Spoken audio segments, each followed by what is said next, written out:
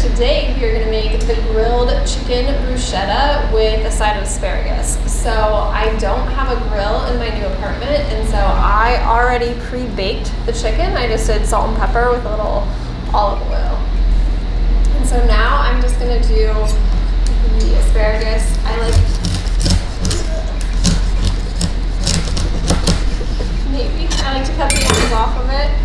Just spread it on a pan. Throw it in the oven. Put a little olive oil on it. Salt and pepper. Well, whatever you may prefer. And that will go in the oven.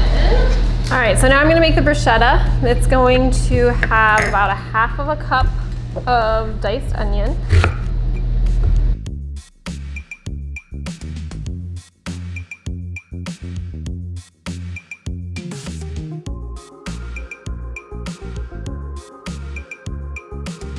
we have two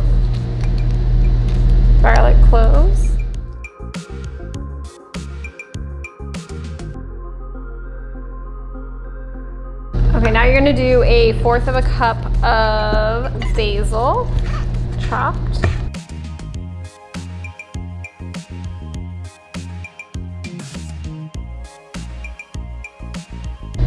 Should be about a fourth of a cup. And then the tomatoes. So rather than buying more actual tomatoes, I'm just using the big pint of cherry tomatoes that I had gotten from before. This is how I cook.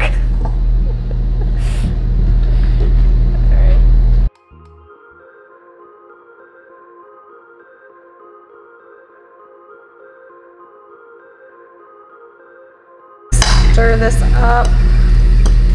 Now if you actually use tomatoes, look a bit different.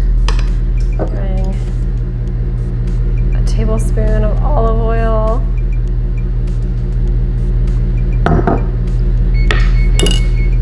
And a tablespoon of balsamic.